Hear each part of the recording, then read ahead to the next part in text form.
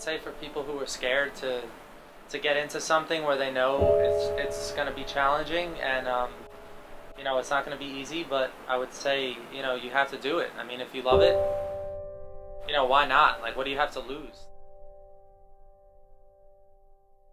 The worst thing that happens is you try.